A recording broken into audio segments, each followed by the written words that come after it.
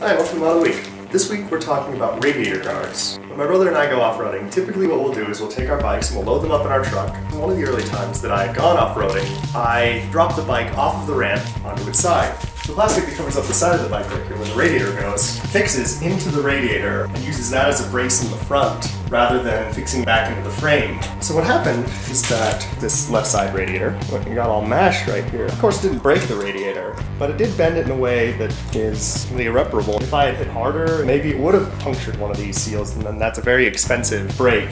One thing that people will do, they'll get radiator braces typically just a radiator brace, would be completely open in the center here. All it does is it makes it so the radiator shroud no longer attaches to the radiator and uses that as a brace. It uses this piece of metal instead. The other component is having these guards. Front wheel has a chance of kicking up rocks. The OEM radiator guard, milk jug plastic that goes off at angles, wouldn't necessarily be able to block very strong impacts if you're going very fast. Eventually you might puncture a hole in your radiator. It's usually they don't come together, but Emperor Racing makes a unit that does both simultaneously, and it is designed towards this specific model, whereas most radiator braces are designed as kind of a generic thing.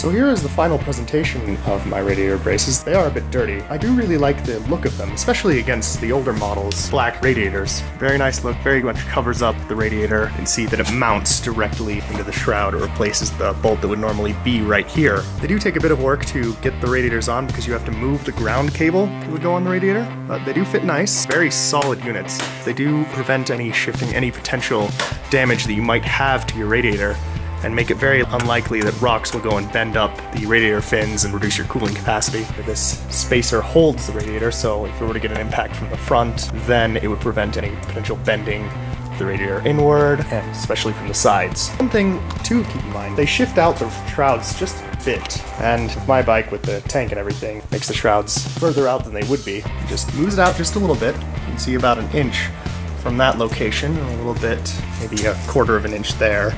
Thanks for watching. This has been Mod of the Week.